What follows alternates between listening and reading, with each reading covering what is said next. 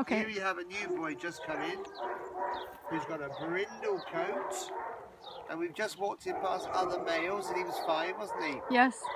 Very calm. good sign. He is very calm. You're a good boy. Very good on the lead. Yeah.